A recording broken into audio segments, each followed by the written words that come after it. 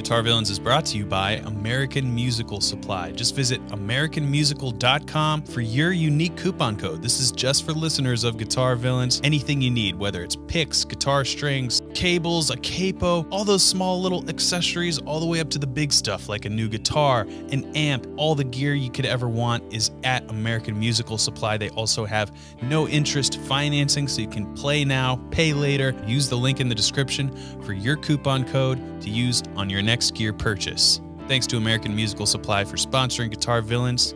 Now let's get to the show. Hello and welcome to Guitar Villains Season 2, Episode 9, the penultimate episode. Today's guest is Grammy winning artist Annie Clark, aka St. Vincent. This episode is packed with useful information like tips on songwriting, how to get that guitar tone, why a guitar should sometimes not sound like a guitar, and also some juicy nuggets like how Annie feels about Berklee College of Music. It was a great conversation, Annie was super fun to talk to, and I hope you enjoy this episode of Guitar Villains. Annie Clark.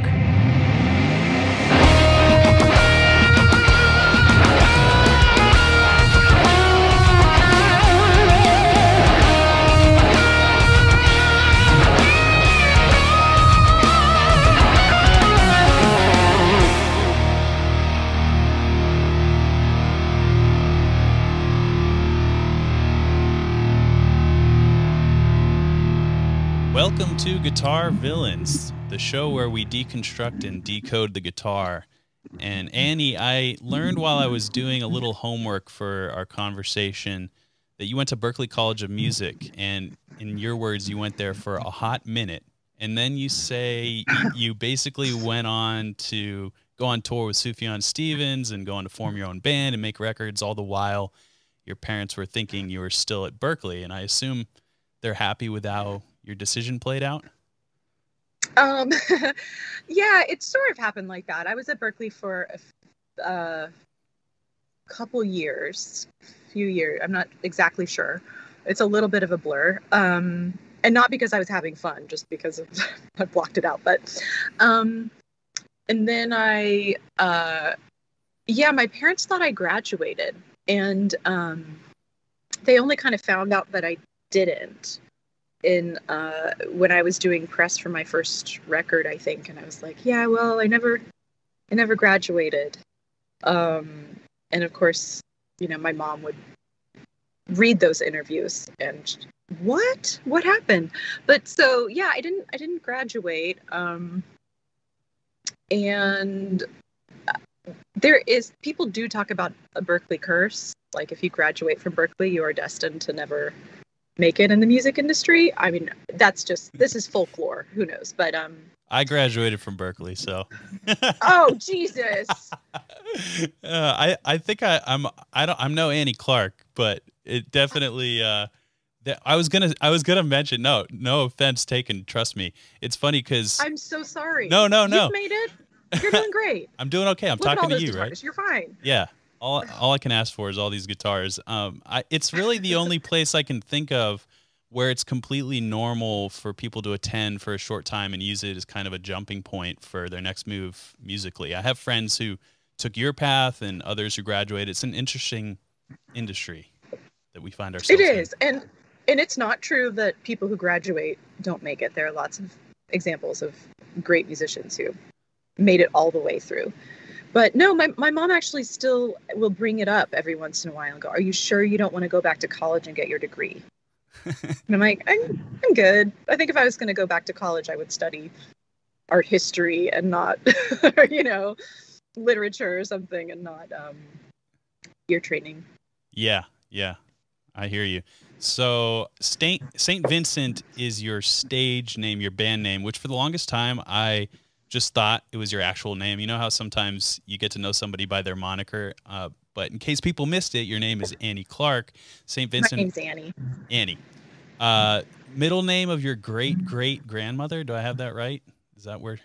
No, um, no. That was I think that was early on when I was trying to figure out um, how to explain why I chose the name.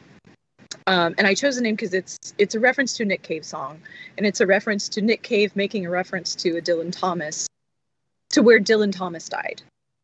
So I, Oh. I thought that that originally, especially in the early days when you're figuring out how what even press is and how to do it and what to say, um, I thought that that story would sound a little too macabre. So I was like, oh, it's a grandmother's name. It's a this, it's that. But no, it's it's a Nick Cave reference. Excuse me one second. I'm gonna turn the AC off.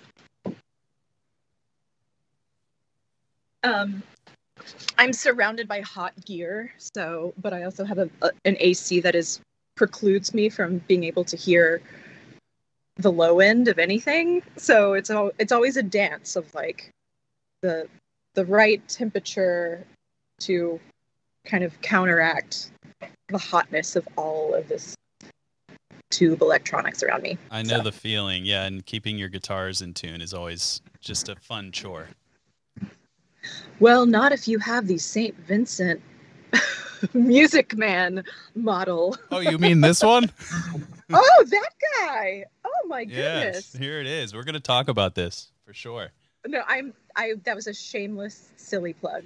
I'm. Trust me, people Is that a gaming chair? yes.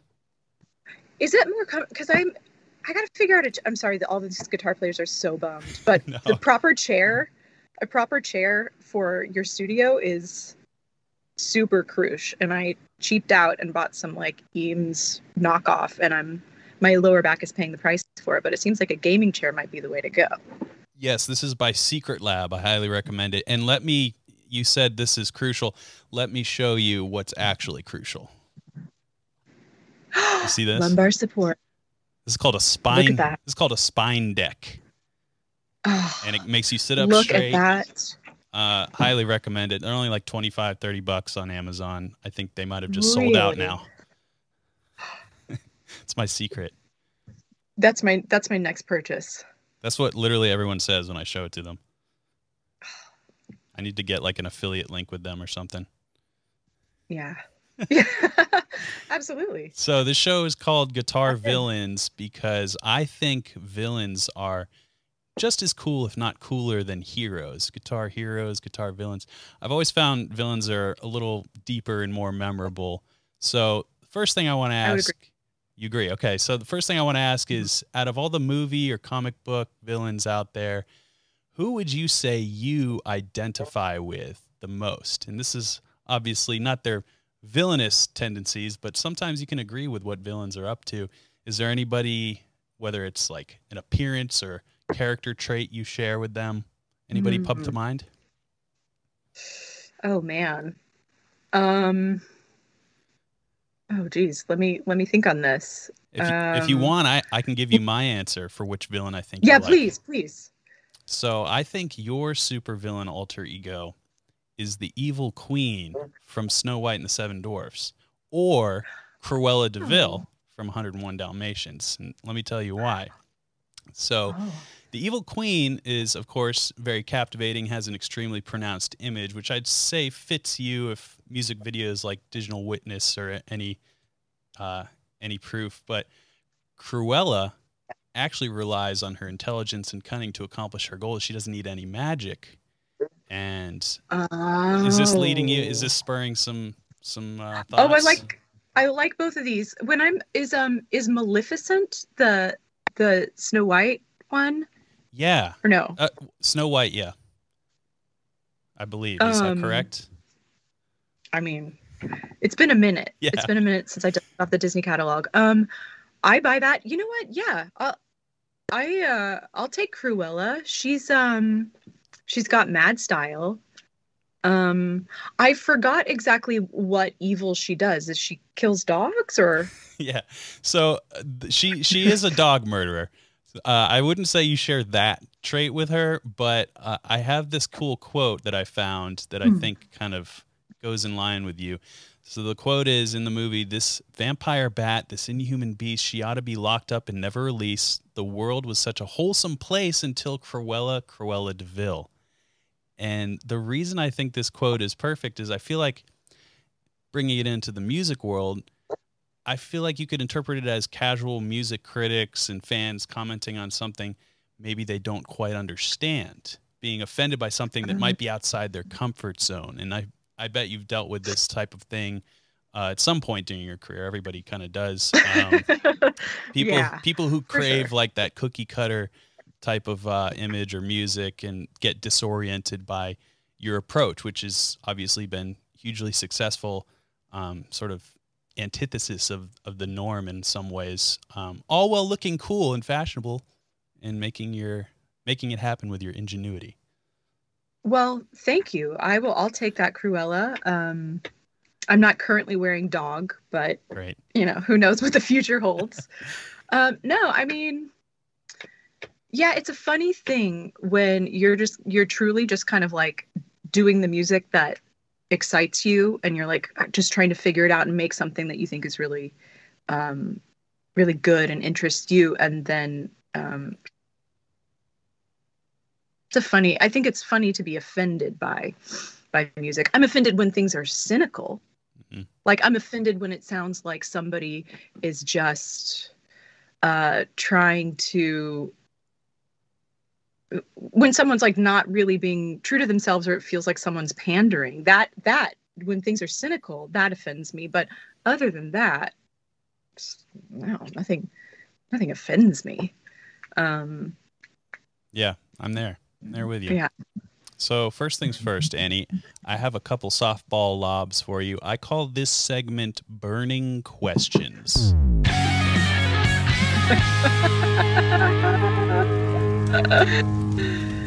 These are uh, rapid fire questions, as you can tell by that incendiary fire. yeah Uh, these questions don't totally matter, but uh, for some reason, us guitar players want to know these things. So the first question is, what gauge pick do you like to use? Oh, I have one in my hand. I'm playing with it. It is uh this is a uh 0.6 millimeter Dunlop. Nice. I like this pick. I like because it's uh it you can it's good it's good um sort of fast action this, you know, Mhm. like almost funk world, but also you can get especially if you hold it I hold it like this. I never I don't do people still hold the pick like this? So you don't use the pointed end, you use like the rounded side? I never yeah, I haven't used the pointed end in years, decades. Yeah, but it's this side. And then you just and but it's really um I like this one a lot. This is I've been using this kind of pick now for probably 7 or 8 years. My go-to. Nice. What Yeah. about uh, string gauge? What's your preferred string gauge? I think I'm tens, but I was actually just thinking last night that I want to have a guitar set up with with nines and do some like crazy bends. Mm, hmm What's your string gauge? So I've actually found my sweet spot after 15, almost 20 years of playing. Uh, nine and a halfs. What? Check them out. They're Wait, is that a standard string size? Uh, I mean, yeah, they they, they make them. They just make them. That's a Yeah. normal. Oh wow. It's it's definitely newer. I would say maybe in the last few years I've heard about them, but yeah, nine and a half gauge strings are are my sweet spot because I, I like the slinkiness of nines up in the you know beyond the twelfth fret, but sometimes with nines it's hard to to get intonation perfect with chords down low. So Yeah. uh, yeah, the nine and a halfs, um, kind of like a heavy bottom, light top sort of thing. It's really oh, great. that sounds great. Check them out. I'm gonna I'm gonna check that out. Um, that's next on my. I mean, I don't have it. The only good I have a I have a bunch of like weird baritones with like flat wounds and like, acoustic baritones. I have like piezo pickups and like uh Nashville tunings and stuff like that. But I don't have just like a regular. Well, I tune down a whole step, but like I don't have any like regular standard tuning for me in in a 9 Mhm.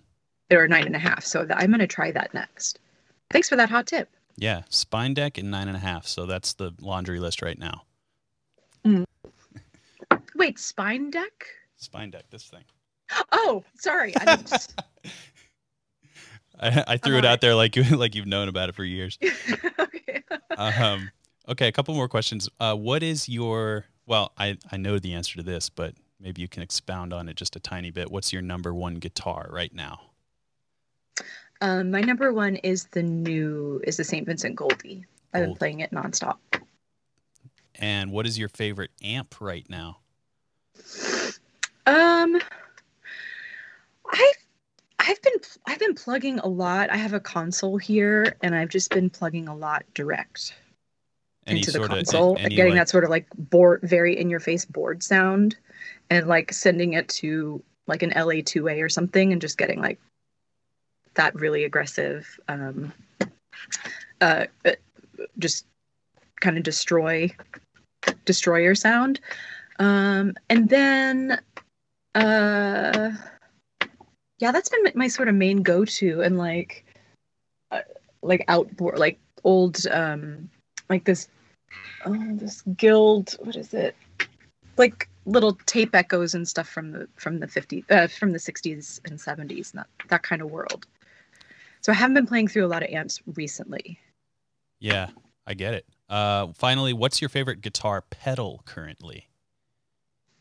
You know what? I just got something. Let me see. I just got this microcosm pedal. Oh, cool. Yeah, I've seen that. Yeah, I it's um I haven't like fully unlocked all of the secrets of it yet, but it is it's very inspiring, I think. Um it's inspiring. I just maybe someone in the comments can tell me how to MIDI uh MIDI sync it to Pro Tools. It has a MIDI app in, but I just refuse to read any instructions ever. So I'm the, I'm the same way. Yeah, It's like the most why. complex pedal ever, and you're like, I'll figure it out. Let's go. I'll figure it out. Oh my god, exactly. I have modular synths here at my feet that I'm just like, no, no, no, I don't need this. I don't. I don't need the instructions. Yeah. It takes away from that feeling when you finally do get that sound. You're like, oh, this is it. Yeah, exactly. Wow, look what I did. Exactly. Yeah. All right. Let's move on. I have another segment called Name Those Notes.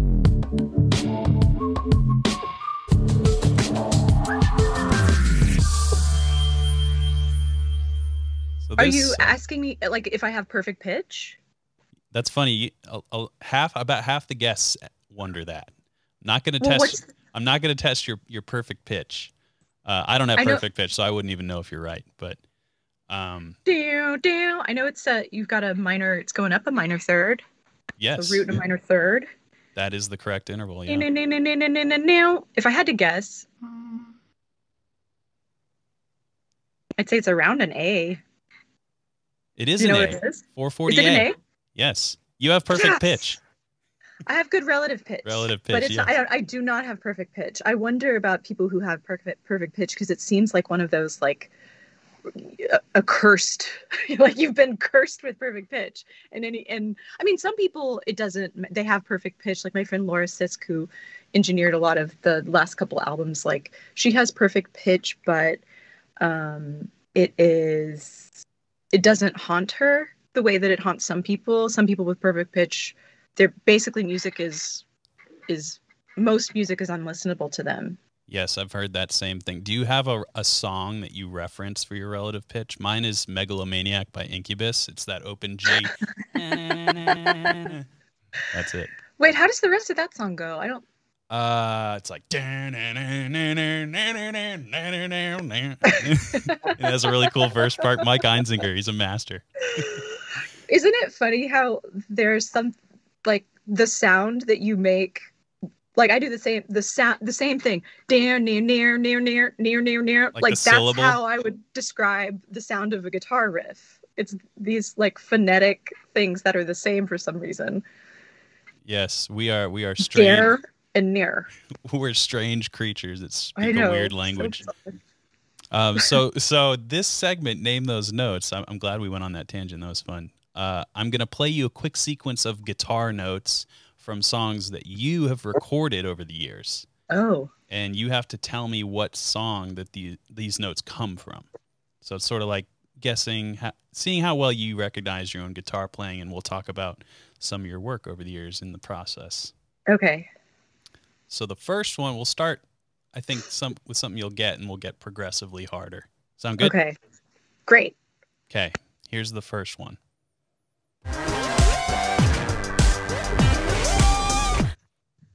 That's Los Angeles. Yes, it is. And that's me doing my best Fripp. Robert Fripp. Yeah. And that's not that wasn't a um a whammy. That's actually sliding up the frets. Yeah, That's I, not that's not a that. I got that sense because it's like uh, it's very analog. You know, like Yeah. authentic human sliding. Uh, the guitar tones you got in this section, I'm going to talk a little bit. Uh, so I was wondering if you recalled that effect setup. So it's basically just an overdriven guitar. Oh God, I have no. Um, God, I wish I remembered.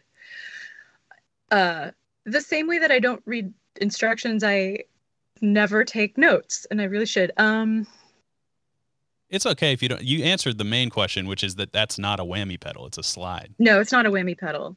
which is cool. No. A lot of people might think that it is.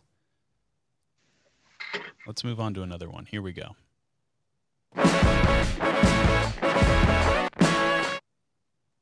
That's a song called Regret, which um always has like a um it has such a Zeppelin there's something very Zeppelin about the chord uh voicings in that. And I think it's I think I'd have to ask so embarrassing. I'd have to ask my guitar tech what tuning that's in. But I think it's in the same tuning as Birth in Reverse, and it's like a some version of a di- it's not dad dad, but it's something. No, it might be E. I think it's an E, and it's like I'm making the chord shape of a like a major six chord, and the on the um like how you'd make a major six on the middle four strings. Right. I don't. I, I'd have to. I.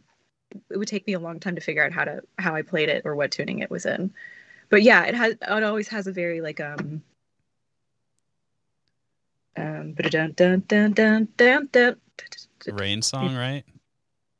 No, rain no, song is not Rain Song, uh, Rain song is beautiful. I was I was I always conf- I always say rain song when I mean uh dun dun dun dun dun dun dun. Yeah, This is embarrassing. I'm I should know that, but I don't remember it. Rain song is a. Oh wait, this is in a crazy tuning. That's in a crazy tuning. That won't help. Oh, this is in Nashville. Let's see. Oh, this might be. In... Rain song though is so beautiful, isn't it?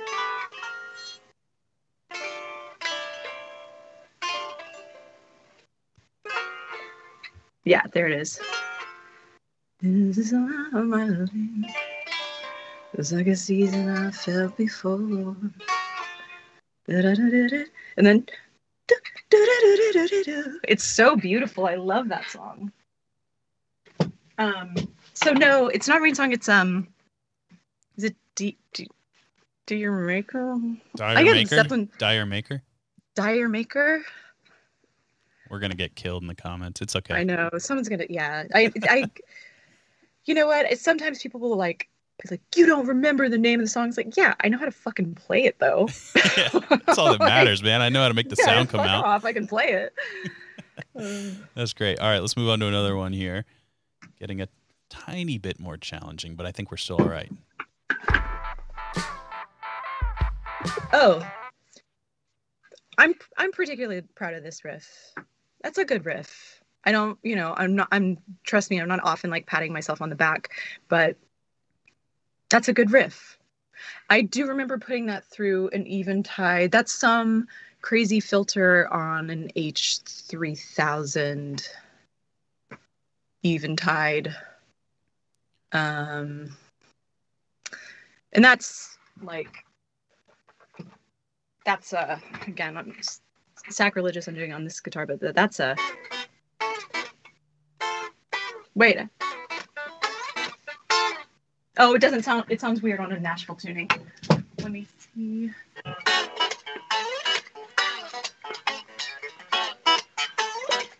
You know what I mean? It's like.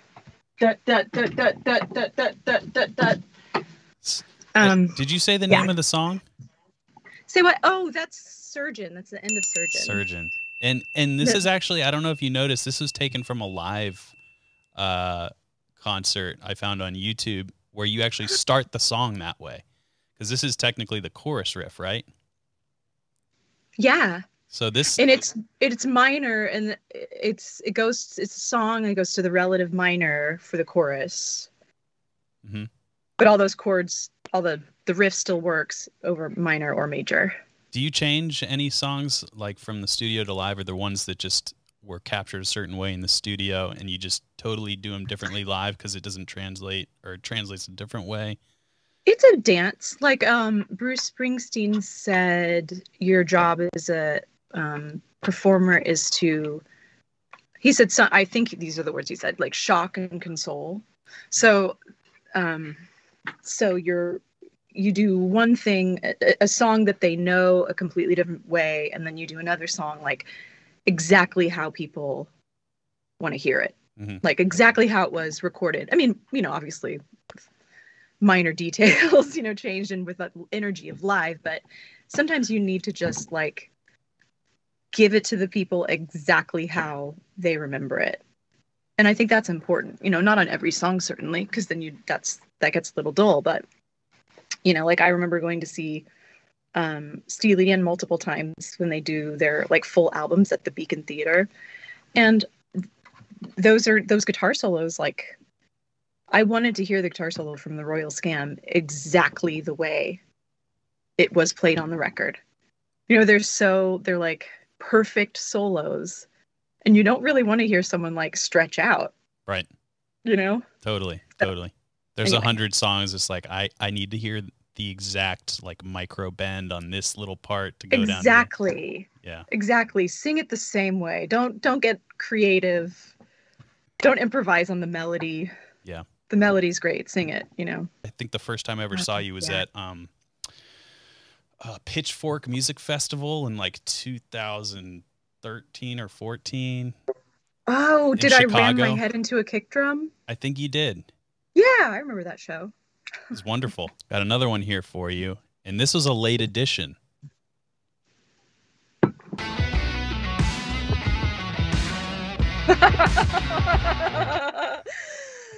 yeah i covered sad but true and um i tried to do for the two like different guitar solo sections i tried to do one that was like paying homage to kirk hammett and then another that was like how would i play a solo on this so one is like kind of me just doing doing my version of kirk and the next one is Yeah, like, I, I really love. It was still yours though, even like the the homage to Kirk, as you mentioned. It was still like I, I heard your fingers in there. It was really a really nice interpretation, and actually just came out today.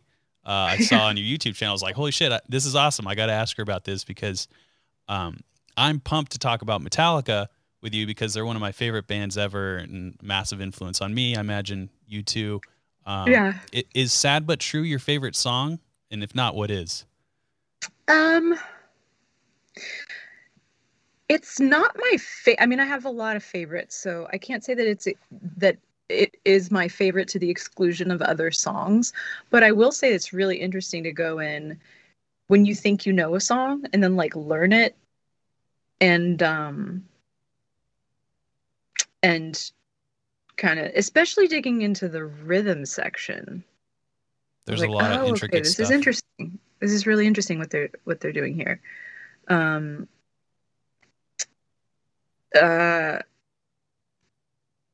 yeah, I mean, Sad but True is definitely among the favorites. Um, Like when I heard when I heard uh, Master of Puppets for the first time, it was my life mission to get through all eight minutes of it, yeah, and it was like my guitar workout when I was 15, and ever since. could then- you could you play it when you were fifteen? I mean, I think I think I did a pretty good job. You know, when you're a kid, when you're a kid and you get into something, and you know, like you you develop a very specific. Like I was totally a Metallica robot. So Uh-huh. between that and like Jimi Hendrix and Led Zeppelin and ACDC, that was like my my holy trinity plus one. There Oh, would yeah. always be cycling one out, but uh, yeah, I, I I did a good job. I don't think I had too much feel like intonation, but the rhythm and, and the, the chops were there. The down picking You know, I had the the James Hetfield down picking, um, which is like harder for me to play now than when I was 15. And I'm just I like, how know. the hell?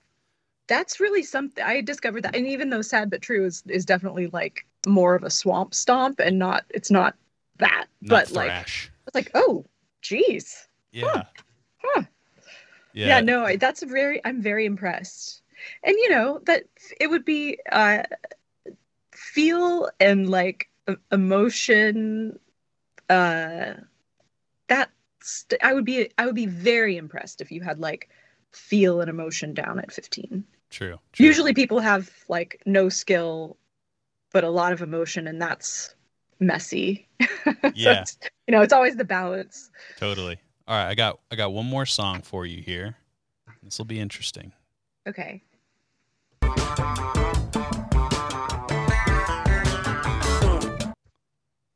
that's down That is down from Yeah. the new album Daddy's Home. This song is so cool. It's like a mix of Prince and of Montreal and maybe like a little Frank Zappa Catholic girls zest thrown on top. Uh, but it still has the the St. Vincent style, which is so distinctive. And this is a guitar podcast, so I, I have to bring it up. These Mhm. awesome sitar lines and great Ottawa lead parts. Your your guitar approach to this latest album, what would you sum that up as? Because this album does feel a little different than some of your previous ones. Definitely. It's way less angular. It's way more um way more feel in in a sort of like it's interesting to talk about it's interesting to talk about music cuz like there I think it's easy to talk about the technical things in a certain way and it's hard to talk about like the the crazy depth Mm. you know the the like the deep um the deep like time feeling and i was way more way more interested in like time and where i placed a note and like the soul of it than the um than the notes Sure. than the har- harmonic notes although obviously there are i play a number of notes but um so that was kind of i was like trying to approach everything with a whole lot of uh patience and depth and for those reasons i think it's like uh personally an, an achievement but um it's not as like angular like cut cut cut in your in your face it's not as jagged or sort of like demented as some of the other some other stuff that i've done but it was a really like deep exercise for me sorry to sound like a No, I get it. So that was it. that was intentional. Then just kind of rounding out the edges and really paying attention to the because there's a lot of guitar parts happening in that little clip that I played where there's like a little funky, maybe like two or three note chordal thing, and then there's the sitar thing going on, and then there's probably some Mhm. other stuff that's very layered in. But overall, it it feels scarce and not in a bad way. Like it's just leaving room for what it is you have to say and. Um, I think it's great. I really like the whole album. There's a lot of acoustic on it as well, there's a little bit yeah like it starting off songs and like I feel like that's kind of a newer threshold. Well, you know, it's I it's it's funny. I had to borrow my friend's like 60s or 70s Martin to to play like the straight up acoustic parts because I don't I don't have an acoustic that isn't some like baritone Frankenstein. Yeah. I just I don't have that like oh this is my classic acoustic that I go to. I'm just I don't have one. Um so yeah um i definitely remember tracking it on um a song like the the, the, um, chorus of a song like down and out downtown and and doing it in not full Mutt Lange style but playing like two notes at a time Mhm. and then playing the next two notes and playing the next two notes um to just get like a real a real expansive sound to track it like that because it, it was it, it made just the sound of it better because then you're dealing with not the full raking of the full chord but things chiming kind of all at the same time. Yeah it definitely speaks to that concept we were talking about like just kind of making everything a little tighter um, as a yeah. part. So you once said i don't love it when the guitar sounds like a guitar. And well, I, I i like that i like that sentiment. People i mean people can change tyler. Oh now you do love it no, when a guitar I sounds like this, a guitar no I, in general for i mean for a long time i was trying to make the guitar sound like anything but a guitar. Uh, but now i'm like oh i love the guitar. And um it's fun to play with some of these idioms and try to like speak the language and not be a tourist and really like own the guitar in a sort of different way.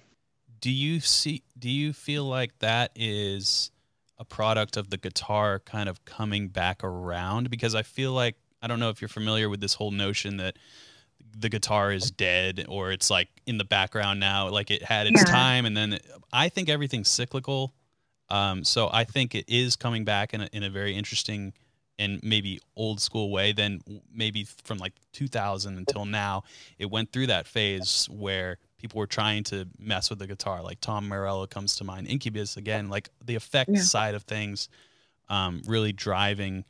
And then there were the purists on one side who are like, just plug straight into the amp, man. If you can't do it like that, then you can't do it at all. Where do you fall on? Uh, so it sounds like you've kind of come around along with the rest of guitar society where it's like the guitar is back do you have any opinion on this whole topic um i mean i think part of the uh guitar is dead rock is dead i think that's been something that's been used to like sell magazines for 50 years yeah. um i don't i you know like tell you know, tell the people still like carrying the torch that rock is dead. Like, no, it's not. It's, it, you know, things evolve, of course. Um, for me, coming back around to loving the sound of a more literal guitar sound um, was in some ways like kind of paying homage to my roots as a guitar player and kind of going back to where where it all began and so i don't I I guess I'm not a purist about anything.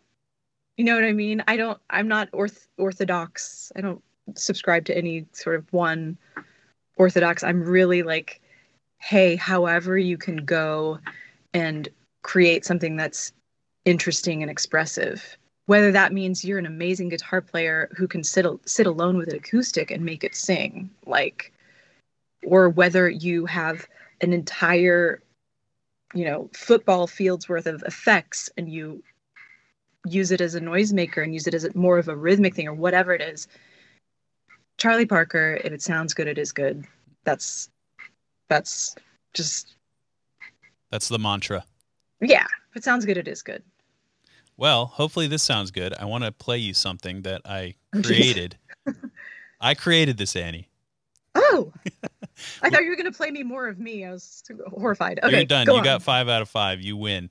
Um, I played this on your guitar, and I want to talk about why these notes came out. So here's a little sample.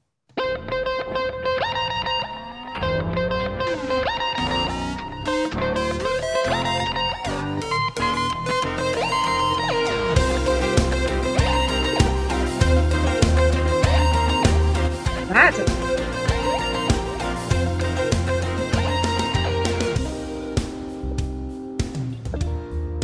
So is, that that's from was that this... the intro of a song? That was really cool. That's a great intro. It came. I've been lis- I've been listening to your music all week to to get ready for our chat, and uh, no surprise, I gravitated towards you know, despite what we just talked about, I I still gravitated towards like, you know, yeah, it was a whammy. Um, yeah. but I, I wanted to ask you about this guitar because every guitar makes you play a certain way I mm-hmm. just got acquainted with this one recently, as I mentioned, and that I never would have played that had I not had this guitar.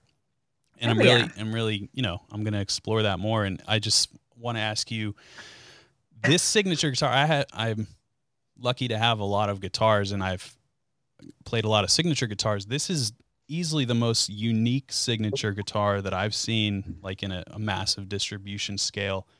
Uh, so I just wanted to ask you first. We'll talk about some of the cosmetic stuff where I think is you know highly unique.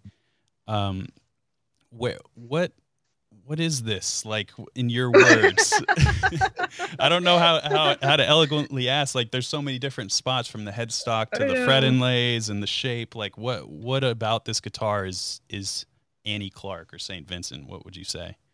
Oh man. Well I, i'm it definitely it's definitely a new a new shape in a certain way but also like i used to for a long time play harmonies and you know Kays and uh, Silvertones and this kind of like guitars that you used to be able to get at a pawn shop, right? And they were, um, or even like the Japanese made stuff from the '60s, like really cool kind of space age shapes, like what people thought the future looked like mm. in the 60s, yeah.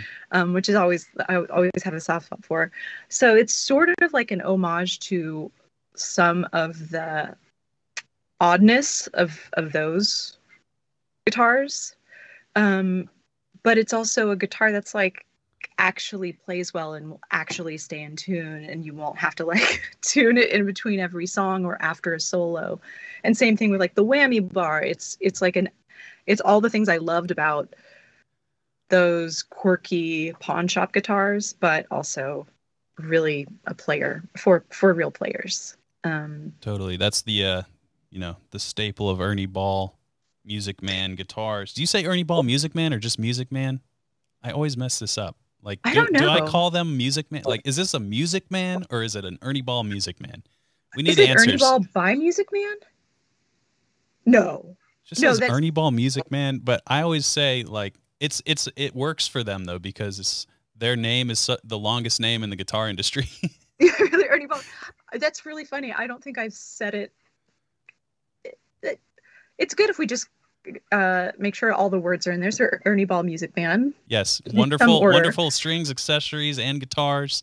Um, um, so what? yeah, but also, I mean, you know that there is that feeling of like, um, you know, when you pick up a Strat, there's certain like riffs you gravitate toward. Mm-hmm. Um, like I can't pick up a strat without playing um, the first part of like castles made of sand. I was gonna say you know Little I mean? Wing. Yeah, I always no, just exactly. go bam right on the 12th fret.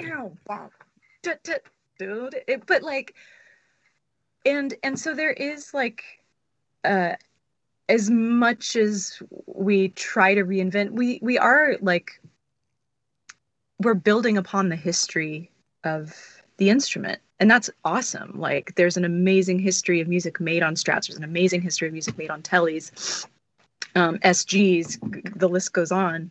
But i think what was exciting to me is that well there we get to make a whole new canon of music for this guitar because there's not that association. I mean there might be some association with me but like it so transcends me and is absolutely for players to just like let's make the new canon. Mm-hmm. you know what are the new riffs that are going to be you know iconic in 40 years? And like let's make them on this instrument because there's not there's not any baggage in that in that way.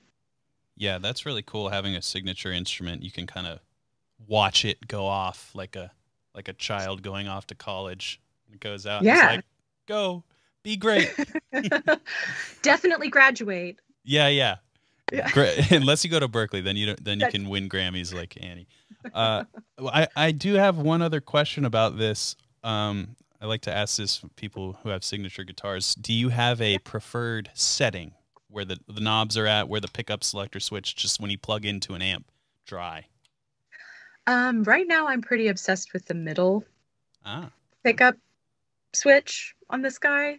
We we kind of we streamlined the electronics in this model. It was like cute and clever the way we did it on the first St. Vincent model, but this is sort of I realized like if you're in the middle of a song and you're so used to going all the way to the neck or all the way to the bridge, on the selector, I don't want people to have to think Mm. when they're doing that in the middle of a song. So we just made it more more streamlined, like more obvious as to which which pickup settings are are for which position. But um It's a wonderful guitar. You should be very proud of it. I love playing it.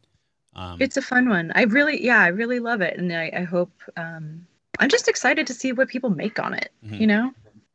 Yeah. I have a couple more questions and I'll let you get out of here. Mhm. One time you said about playing guitar, you said about a third of the time I don't know what's going to come out. And I think you were being kind of facetious, but at the same time, uh, I thought I thought it was such a cool way. Let me let me dive into this, uh, whether or not it was true. Um, I thought it was a cool way to describe the act of improvising because I feel like no matter what level you're at, technically, the same feeling of kind of letting loose and letting your muscle memory take over or going for some riff you don't necessarily know is going to work out, but who cares? Um, Mhm. What what goes through your mind when it comes to improv on the guitar, whether it's live or in the studio? What what are you thinking about?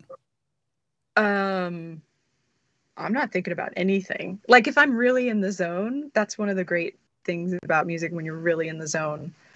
There's there's suddenly like no conscious thought. Mm. Um you're just riding the wave, but like um that is it's not wholly it's not wholly wrong. I mean, a lot of times I'm like I'll reach for something. And I, I'm not I'm not one of those guitar players who is who knows um, what things are going to sound like every time they i don't have i actually don't have that. Mhm. um, i don't have the exact correlation. Like i know my uncle does Tuck Andress like he obviously knows the thing inside and out but um, i feel i do feel like i'm able to be perpetually surprised. Um, but also like just to kind of be in the moment i think that's the biggest thing about that's sort of like I feel like there are levels of playing and it's it's where like mastery of an instrument if that's even possible um, or technique and all these things meet but the point is to be transcendent. Like the point is to be deeply in the sea and and lost in it in a great way.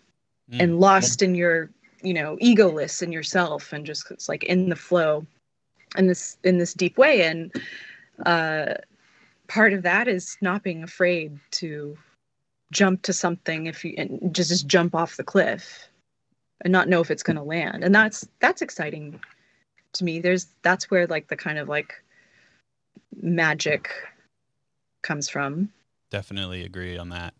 Uh, I wanted to ask a different question here. You won a Grammy for Best Alternative Music Album 2014 with St. Vincent, the self titled album. You won in Mhm. 2019 for Best Rock Song. And I, I, basically, here's my question What is your best tip for songwriting? Just one tip, if you had to give one tip, sum up how to be expressive, I'll say.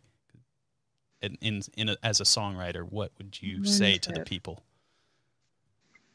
oh man one tip um I know you have a master class on songwriting, so just sum that whole thing up in one sentence.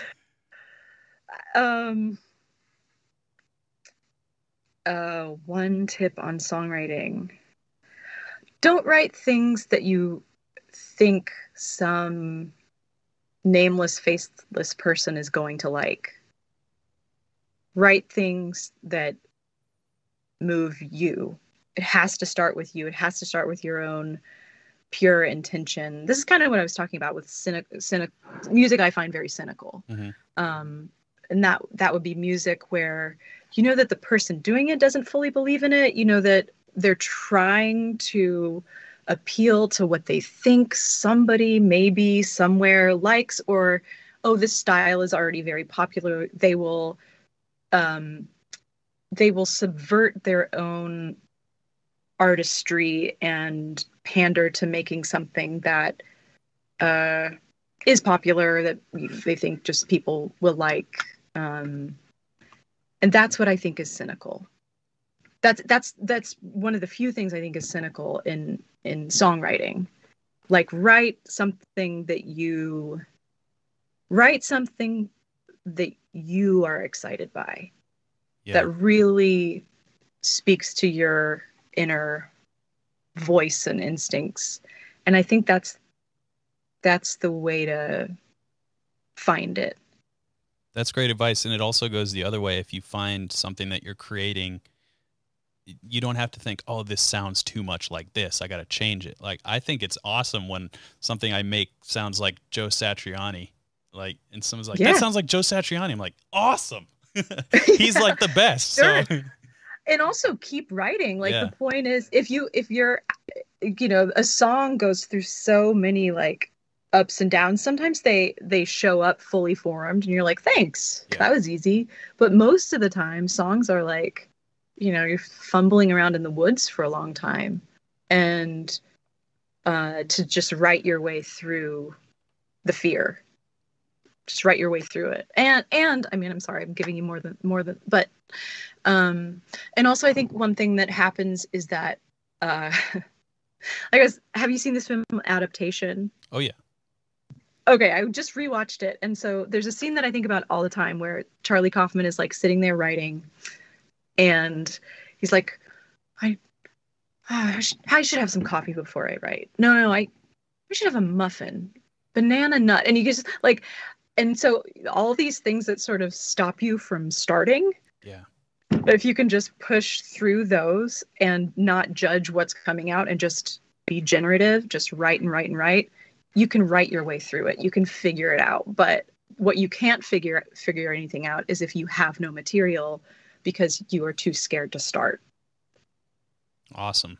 So finally, Annie, to loop in your guitar supervillain alter ego, Cruella de Vil. I have one final question for you. What do you believe about guitar that most guitar players would think is crazy? This could be a hard truth that guitar players need to hear, or something you know that others don't, or maybe a misconception about the instrument, or whatever you want. You can Get on your hmm. soapbox. This is a safe space. Oh wow. Okay. Say whatever you think the guitar players out there need to hear.